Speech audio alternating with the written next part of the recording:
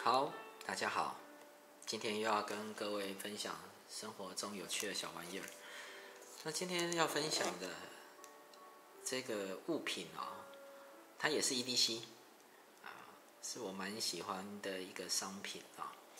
那我们从这个盒子上面呢哈，看起来啊，可能有部分啊对 EDC 有了解的人们呢哈，看到了这个胶带上面写的这个 Nightcore，大概就知道这里面可能是什么东西了哈。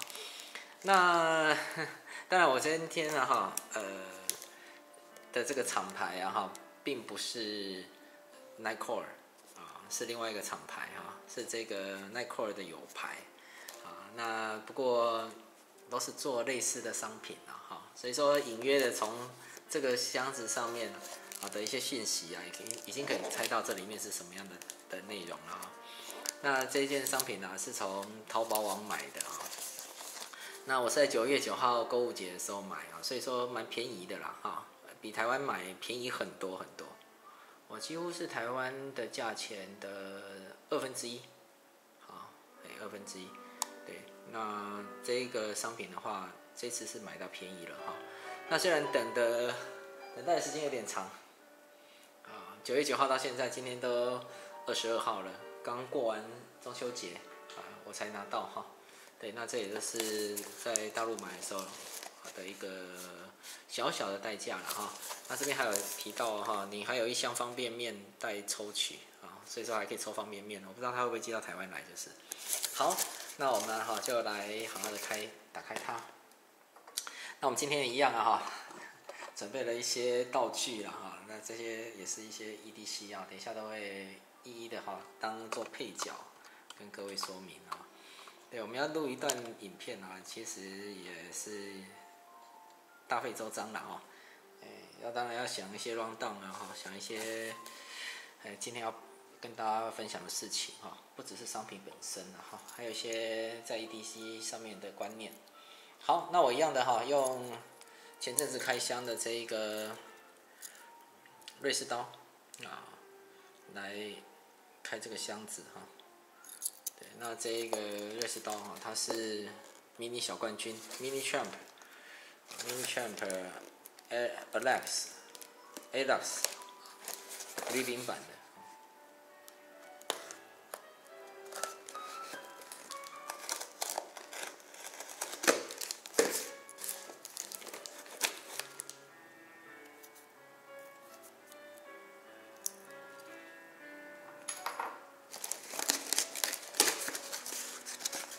好，那箱子打开了，打开里面的话，那我们看里面有什么？啊，这里面的话就是一个包装袋了哈，一个泡泡袋。啊，好，这个商品的话，它已经啊看到庐山真面目了哈，它是 Lumintop。Lumintop，我们中文的话是给它一个很可爱的商标名了哈，叫雷鸣兔。Lumintop 雷鸣兔，啊，它是 EDC flashlight，就是 EDC 随身会携带的手电筒 flashlight，啊，那它的型号是 EDC PIMI P I M I，啊，那我们看到它盒子上面写些什么哈，Lumintop Technology Company Limited，啊，它是我看呃有地址啊哈。深圳，其实它这也是大陆做的啊。好，那这一个商品的话，它是一个蛮知名的 EDC，我们在 EDC 界啊，它算是一个很知名的商品啊。那事不宜迟，我们赶快打开它。那我既然说它是一个知名的 EDC 啊，想必它体积是比较小的哈。那理所当然。对，因为我们呢，EDC 如果说不够小巧的话，哈，没有办法随身携带，那怎么叫做 everyday carry 呢？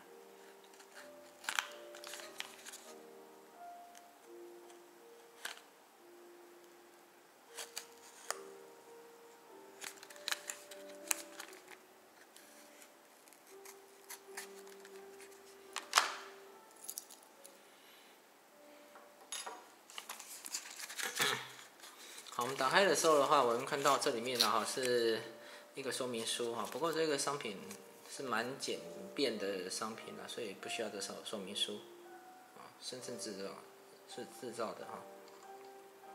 然后这里面的话会有一个，这是一个胶圈，这是一个预备的胶圈。好，那这当然这一个商品的话，它防水等级啊还是有的啦。哈，我记得好像是 IP 八零吧，IP 八 X。我等下看一下它的这个说明书，哦，省得资讯给错了。IP 六八，啊，这个写到它的防水等级是 IP 六八，它诶防掉落啊是一米。啊，它的射程是十五米，啊，六十个坎德坎德拉，坦白说不是顶好的了哈。然后它呃一样哈，有两种灯泡可以选哈，有尼奇亚跟 c r e 啊，那可以的话是一百流米，尼奇亚是六十流米，啊，对，当然了，不过这个商品的话，我等下好好的跟各位介绍哈。那我这次还是一样啊，还是一样用尼奇亚的版本，好，各位之前可能有看过我。这一个手电筒的开箱啊，它是 Rovimon Rovimon 呃 A8X 啊，那这一个手电筒我也是选 n i c h a 的这个主灯的版本。啊 n i c h a 的特色就是它的显色率很高。啊，我对色彩是比较要求啦。啊，对亮度倒是还好，因为我们的眼睛啊对亮度会习惯，所以所以说你再亮的话，一下子哈。你眼睛习惯那个亮度以后啊，差个几十流明啊，其实没有什么多大的差别，但是颜色性就差很多啊，颜色性没有颜色就是没有颜色了哈。那这一个呃手电筒的话，它当然是很迷你了哈。那它是用一零一八零锂电池来供电，也就是说它是可换电池的，好，它可以更换电池。那可以更换电池的话，好处多了哈。我们可以随身携带一个电池。不过我说实在话，EDC 没有人在带电池的，因为我们就希望它好携带，好不会再额外带一个电池了哈。那一零一八零也是一个诶锂电池，然后最小的体积了哈。它整个包装打开了以诶盒子打开以后的话，它的配件呢就是说明书一个，然后主体啊，那这主体是密封在这个。袋子里面的哈，那袋子里面的话是完全的抽真空的哈，真空包装的。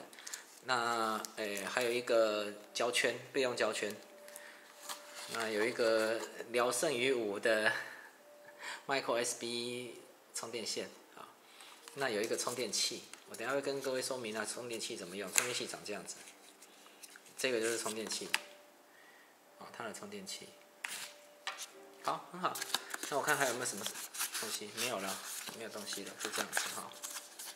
这个这个包装还可以啦，还可以哈。对，那它所有的组成呢哈，包装里面的组成就是长这样子。好，就这些。那你可能会觉得说哈，奇怪，为什么它这一个商品呢要包装在密封袋里面啊？啊，因为它是黄铜。黄铜材质，啊，所以说它很坚固耐用了啊。再来是说这个铜的材质啊，遇到空气会氧化，啊，所以说我们经过使用之后的话，它未来不会这么的亮晶晶啊，它会有一点那种带着铜锈啊的质感。其实那质感也不错啦，啊，它就是一个历经沧桑的感觉哈。其实很很有很有古朴的味道啊，而且每个人的黄铜制品啊，哈，在身上以后，它的颜色都会。独一无二哈，每个人氧化程度啊哈，跟氧化部位、氧化的部位都不一样的。好，那这时候的话，我们就把这个袋子给拆开哈，然后跟各位来说明一下这个商品的哈的特色。那我一样还是用这很熟悉的工具，好来开刀，我要剪刀。大家有兴趣的话，我大概两个礼拜前吧，哈，有做这一个，诶，瑞士刀啊。的开箱哈，大家可以去看影片哈，在我的频道里面有，那我就把它打开了哈。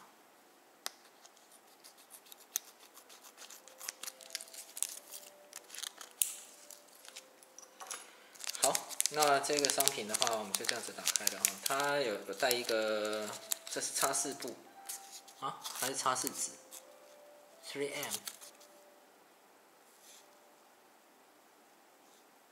这应该是一个擦拭纸吧。哦它肯定要让我们擦拭这一个诶手电筒用的哈。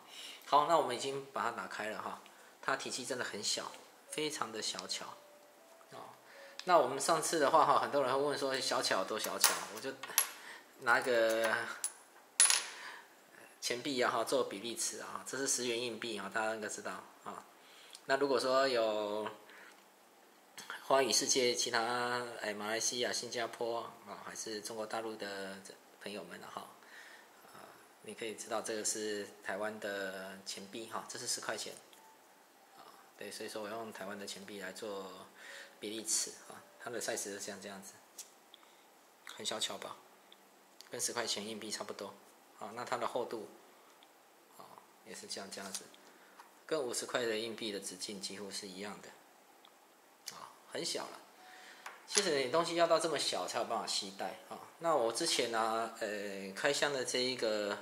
嗯，Rovivon A8X 它已经很小巧了，但是呢，这一个今天要开箱的 Lumintap，Lu 好 Lu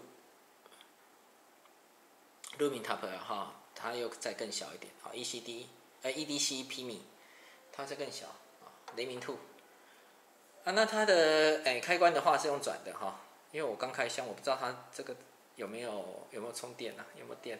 哎呀，没有电呢。我记得它的开关是用转的，啊，哎呀，没有电了，这就是哈我，哎，跟大家大家一起开箱啊，把箱子打开的缺点啊，就是我没有办法确保这个商品一打开的时候是有电的哈。那没关系，我拆解这个商品给大家看一下。你打开之后的话哈，我们可从里面可以，哎呦，哇，哦，我知道了，它其实有电呐。啊，它是有电，它只是然后把电池然后加了一个垫片在底底座，在底部啊，它避免然后在呃寄送的过程里面然后发生危险，啊漏电啊，或者是说哈燃烧啊啊等等的危险哈，所以说它这边做了一个垫片啊，然后呢也确保这个电池然后不会一直在放电的状态啊，那这里面的话就一颗一零一八零的电池哈，那一零一八零的锂电池。它是很小巧的锂电池了哈，相当小巧。我跟你讲有多小巧。我们拿五块钱硬币，这是五元硬币哦，刚刚那是十元硬币，这五元的啊，这么小。十元硬币的话长这样子，啊，所以说很小。那它这个容量的话是八十个毫安时啊，八十毫安时。那我们知道一零一八零的电池啊，我们买得到一百毫安时的。好，所以说我们刚刚有讲到它的这一个放电时间了哈。其实不是很顶很准确啦，它也是 according to 你的这个电池容量啊。那如果说是一百个毫安时的时候，它在可以持续亮着的时间会更再更长一些哈。好，那这时候的话，哦，有了，这样就亮了哈。好，这没问题的。好，那它的这个开关的设计的话是用旋转的哈，而且它是一个很好的设计。什么叫很好设计呢？你看我刚刚是不是啊哈一路从亮，好，我把它转松了，松开了之后的话它是亮的，然后我把它转紧了以后呢它是暗的，也就是说它确保在我们转紧的时候，我们在收纳的时候的话它头不会掉了。好，如果说你反过来的话，转紧的时候亮，好，那转松的时候的话关。我们有可能会失去了这个头，我不自知啊，所以说，哎，那我们这个转紧的时候关，哦，转松的时候开了哈，这样才是一个好的设计哈。那我们这样子看起来，这个是一个六十流明，啊，六十流明的亮度哈。那我把灯关掉给大家看一下，六十流明的亮度啊，是这个样子，啊，其实是非常足够了啊，是非常足够的状态。以 EDC 来说啦，好，以 EDC 来说，那当然了，我们如果说哈要跟我之前的哈的这一个哎 Rovivon 啊的是来比的话，它当然是暗了一些，啊，因为这是三百流明的，啊，这是六十流明，很明显有差别了。啊，不过哈，我们有时候的话不是这样子在衡量一个商品的好坏，不是光从亮度去衡衡量它。如果说要从亮度去衡量它的话，我同样的这个价钱，我可以买到啊哈一千流明的手电筒是绝对没问题的哈。它反倒是它价格还算有点贵哈，因为一来是它的筒身是铜材质啊哈有关系啦哈。另外一方面的话，它做的很小巧。我们都知道哈，EDC 界啊，东西越小是越贵啊。对，所以说没有人在比亮度的了哈，亮度也不过就是这颗 LED，LED 没有多少钱呢。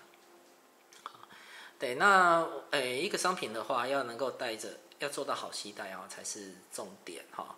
那至于说它的亮度的话，那是次要了哈。怎么说你知道吗？哇，很常提到的哈。我们既然要玩 EDC，就是要成为一个 always prepared，啊，always be prepared 的人哈。那所以说，任何的商品呢，只要不在身边啊，功能再大都没有用啊。它只要不在身边，它就是零啊。所以说，你要能够带，我们才能够去谈它的诶效能啊。所以说哈，期待性是 EDC 里面最重要的事情了哈。那我顺道哈跟各位啊哈还提一下哈，诶我在 EDC 的时候使用上面的一些观念哈。对，啊好，在讲观念之前的话哈，我也忘了漏了介绍啊哈，这个充电器，啊，这充电器要怎么使用呢哈？因为我在诶买之前的话，当然是有设备一下这一个商品的哈。对，那我们把这一个灯泡头拆下来哈。拆下来之后的话，我们会把这个是一个充电器，我会把充电器装上去。充电器的话，它有一个这一个诶保护头，哦，把它拿掉。拿掉之后的话，把这一端，啊，这一端锁上去之后，我发现一件事，我是不是买到红铜的版本啊？啊，因为这里面才是黄铜。可是我记得我是买黄铜的，不过这没关系啊，不要紧，红铜黄铜倒是无所谓。我印象中这个是黄铜版本没有错了。如果说以商品介绍来说的话，啊，然后这时候它就是一个充电器啊，充电器把它装在电池的上缘，把它呢跟灯泡做替换啊，那你就可以把它充电啊。那充电的时候的话，我们就是用这条充电线啊，micro USB 的，当然你也可以用其他的线来取代它了哈。你带身上的水那个。行动电源呢？哈，是带着什么线你就用什么线就可以了。然后这样子把它插上去，我们行动电源。这个行动电源也也值得推荐，然后它非常小巧哈。对，然后有五万个毫安时。好，那我们就这样子把它插上去之后的话，我们可以看得到，它就变红色啊。那红色的意思是说它在充电中啊。等到它完全充满的时候，会变成绿色。哎，是这个样子。那这是它的充电的机制啊，蛮不错的。其实，呃，我能够明白啊，他为什么要将这个充电头另外做？因为我们看到很多的，诶，手电筒的话，它的这个充电器是装在手电筒的内部的，也就是把它旋开了以后呢，会露出一个充电孔出来，然后旋紧了以后，这充电孔会包在这里面，啊，包在灯泡的内缘，啊，但是这样子的话会怎么样？会使得你整个手电筒的体积变大。啊，反倒是这种啊，充电头啊是可以分开的，这种才有机会将呃这个手电筒啊做的很小巧。我先把它拆掉哈，先把它拆掉，这条线我先把它拆掉。我等下的话哈，哎，再慢慢充哈。你看这个充电头的话，你只要在家里面充电就好嘛。不需要随身带着，所以说我们它尽可能呢是将整个手电筒的体积缩到最小。它的设计的理念就是这样子，它让手电筒本身是越小越好，好不必要的东西不要带在身上，这是一个 EDC 的逻辑了哈。好，那我后面的话花一点时间呢哈，跟各位分享一下 EDC 的观念哈。那我们以往的话哈，带东西都会希望能够哈越带越齐全越好。啊像这样这个东西的话，呃，叫 Lesterman 啊，哎，Plus 哎 TTI 哈，Charge Plus TTI，那这个东西这个商品的话，当然是非常 powerful 了，但是我们不可能把它带在身上，因为它有点重，而且有点体积。当然，你真的要带它的话，也不是不行啊，只是说我说实在话啦，你带它的话哈，带一次、带两次、带一个月，我都相信啊。你说要带它一一整年，我是觉得有点怀疑哈。那我们最好的 EDC 的话是希望啊，能够一直带着它，好，因为它就是要不时之需用的嘛。你没有每天带着它的话，怎么叫 EDC 呢？而且你带带着它的话，必须要没有负担。所以说我们呢，以往的话哈，都会很希望说哈，能够带着哈，像这样的商品产品呢哈，在身上啊，啊，就带着啊，带着大家带在身上这样子哈。对，那我们可能还会带一些充电线呐，然后呢，我们会带这个这个什么呢？诶，随身包啦，哦，这个是行动电源应急用的，哦，这个也不错，这是一个很好的诶充电器哈。对，我们可能会带这样子，啊，那事实上哈，一个好的 EDC 的玩家哈，是要越懂得精简才是越好的哈。所以说，我们尽量的话都能够让他在身边带的东西越少越好啊。那所以说，这个东西的话可以拿掉的，我们就拿掉。这东西的话，我们尽量哈不需要带在身上，因为坦白说的话也蛮负担的。那这个就更不用讲了，最后你就不会带它。所以说要懂得精简，懂得取舍，才是一个好的 E C E D C 玩家。所以说我们到最后的话，大概身上就只会带一两样东西而已。好，这个东西也拿掉。我们大概会带的话，就是啊一个手电筒。手电筒的话，你可能有两个选择，你可能可以带它或带它。这还这个都还是可以勉强带在身上的一个体积。然后呢，在随身的工具的部分的话，呃。我以往的话都会带着 Listen Man 的 Squirt PS4 啊，然后我现在的话慢慢的转向这个 Rory Nuss 啊，瑞士刀的 Mini Champ 的这一个选择了啦。哈，因为它它们都很小。哈，这是十块钱硬币。啊，都很小，但是呃相对的瑞士刀还是比较轻一些。哈。这个 Laserman 的话，我就相对的比较少带了哈，因为它重量稍微比较重。但我说实在的啊，你如果说真的要让我选的话，这两个工具以前的话，我会用哪一个？我还是会偏向使用 Laserman Squirt PS4。为什么？因为它比较比较强壮，比较耐用啊。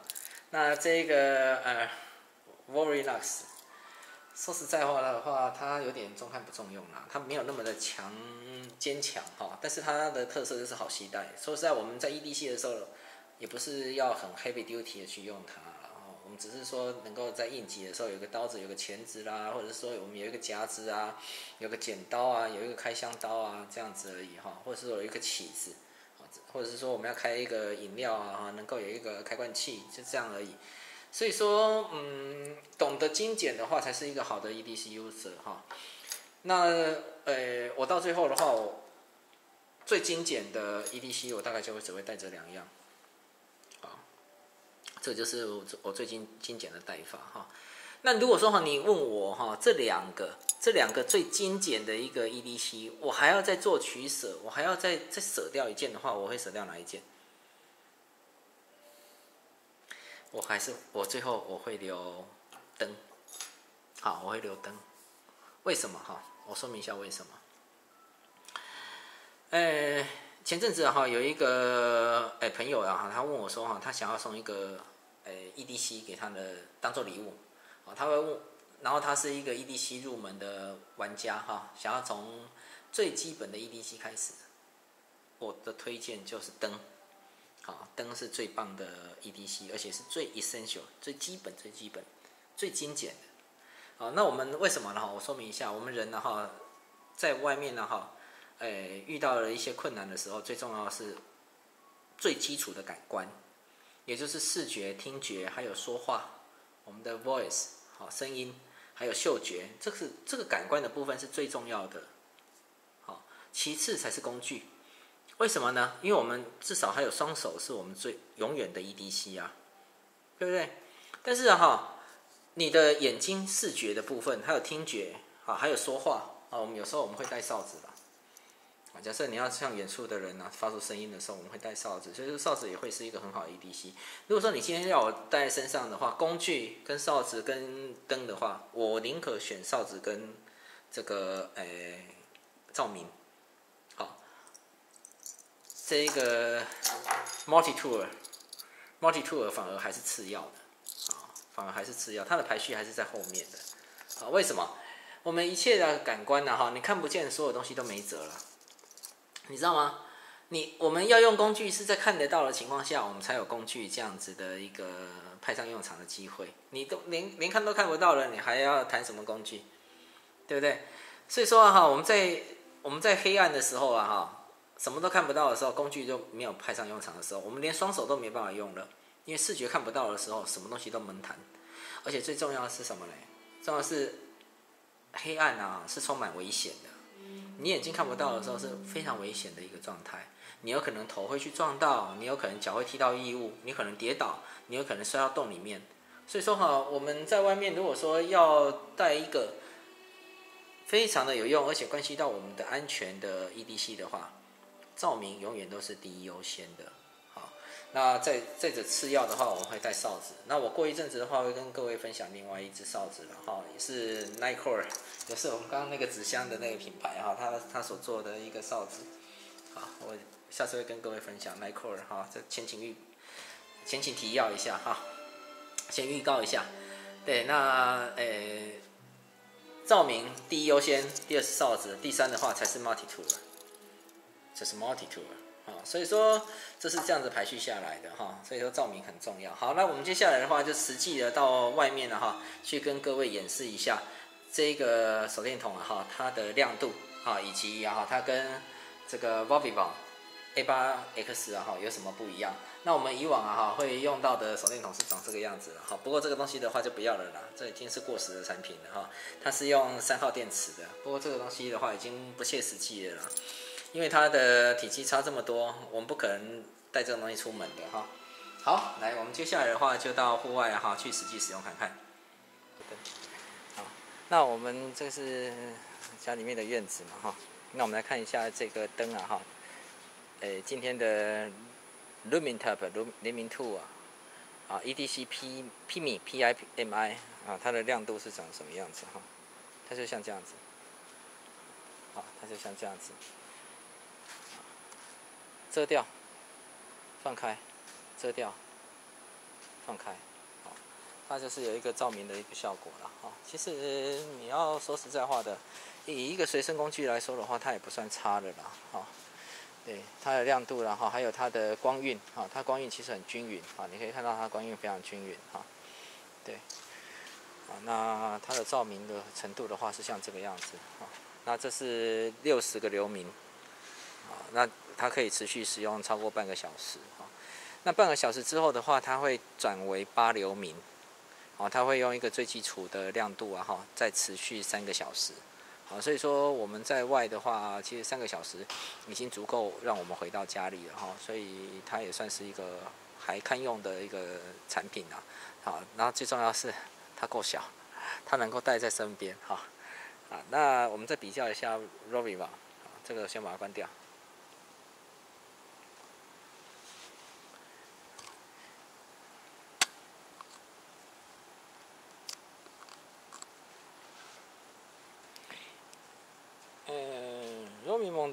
特色的话是说哈，它它是三百流明嘛，它一定是比较亮的哈，它亮度一定会比刚刚的诶六十流明还要再亮一些哈。对，那而且它是有不同的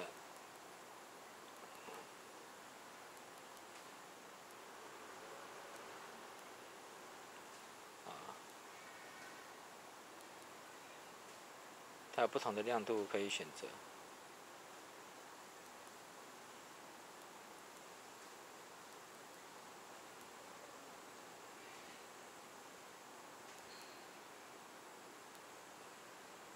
它有不同亮度可以选择，好，这是最这星光模式哈，月光模式了哈，再亮一点，好，那这个也是要两百六十流明哈，最亮是到三百流明，啊，它有三个模式可以选择，啊，最星光模式啊，月光模式，啊，这个大概是两流明、三流明左右吧，哈，对，那再亮一点的话，这已经到一百流明，了，一百多了，一百二十几流明左右，然后，这两百六十流明，啊，最终的话是一个三百流明哈。